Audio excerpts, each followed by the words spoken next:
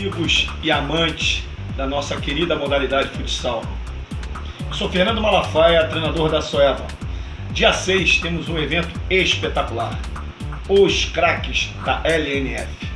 Além disso, nós vamos homenagear dois ícones do futsal, os que brincavam com a bola, os irmãos Lenise e Vinícius. Ainda teremos o Hall da Fama com Falcão, o 12.